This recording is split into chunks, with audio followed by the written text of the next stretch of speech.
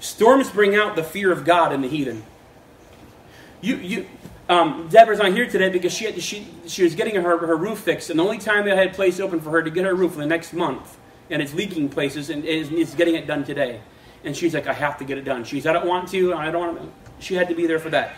But she said that the insurance adjuster came by and says, oh, well, it's covered, it's, it's an act of God. It's interesting that storms are considered act of God. Amen. But creation isn't. Right.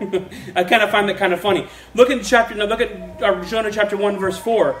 But the Lord sent out a great wind into the sea, and there was a mighty tempest in the sea, so that the ship was like to be broken.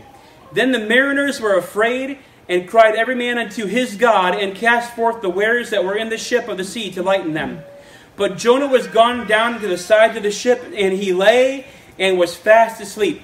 The most sorriest person, the heart, the sorriest thing to see is a Christian not even aware of the storm they're causing in people's life. That's the saddest thing to see is a Christian not realizing the destruction they're leaving in people's life because of their disobedience. Right. That's pretty hard to think, right? Look at verse number six. So the shipmaster came to him and said unto him, What meanest thou, O sleeper? Arise, call upon thy God, if so be that God will think upon us that we perish not. Well, what happened? What were they doing just the verse before? They were praying to all their gods. Mm-hmm. And their gods were unable to help them. By the way, there is no God like our God, amen. Our God can hear and answer right. prayer. Our God can help us in the, day, in the time of trouble. Their gods are useless. And as they're praying, just like they're praying with Baal, and they're trying to get Baal to come from a long journey, and they're not answering prayers because their gods are dumb idols, have no ears, have no heart, and have no ability with them whatsoever, they realize their religion is futile.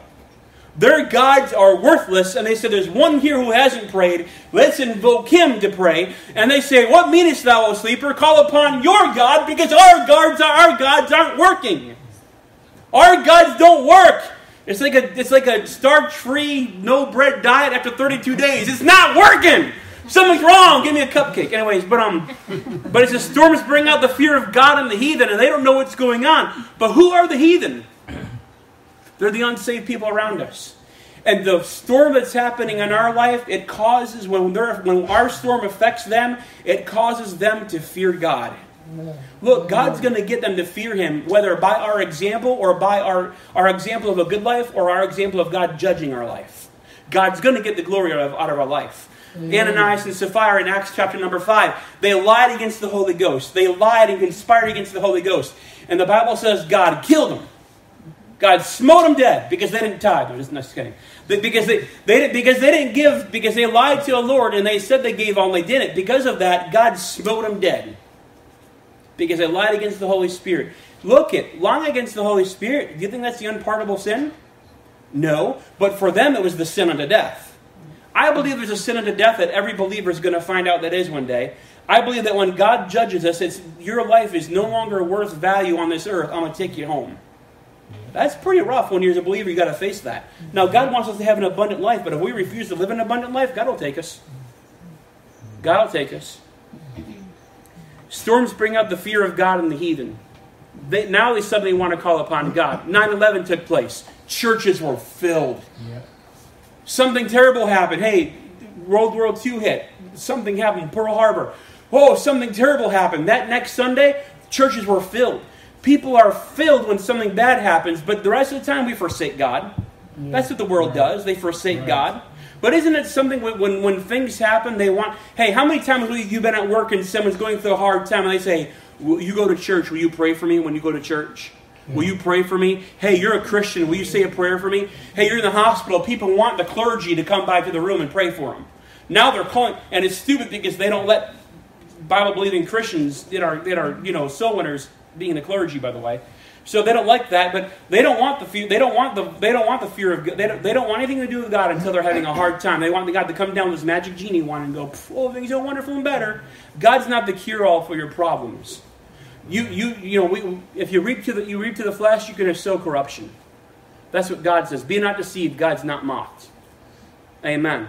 But storms bring out the fear of God and the heathen. Here they are, they're praying, they're crying out. They're saying, Man, our religion is useless, our religion is vain. Hey, you pray to your God. You pray to your God. if so be that, that if so be that God will think upon us that we perish not. They weren't asking for that. Hey, you pray into your God that we don't believe in. They started believing in God. They started believing and saying, "Hey, you pray to your God because our guards aren't working." Storms bring out the fear of God and the heathen. Why don't why doesn't the storms that we go through bring out the fear of God and dependence of God in our life? Why is it? Why does it take something traumatic for us to just trust Him? Here, God has given us all the precious promises that are yes and amen in Christ Jesus. All the promises of God that are yes and amen in Christ Jesus. Why don't we go to Him? Why is it we have to wait till something major happens? Why do we Why do we wait till the last minute? The preacher and the deacon, the preacher and the deacons were talking about one day, and they said, "Our attendance is low, our offerings are low. We had to cut our missionaries. We're cutting our salaries. I don't know what's left to do. We're not making budget. I don't know what to do." And, and, the, and the preacher says, I guess it's just time to pray. And the deacon says, Has it come to that? That's the first thing we have to do is go to God. He, like, he owns a cattle on a thousand hills, amen. The Bible says, Ask and it shall be given you, seek and ye shall find, knock and it shall be open unto you. If we ask him, like if we ask him in prayer, he'll give us. He's right. promised he'll meet our need. Right. But we don't go to prayer. Why don't we?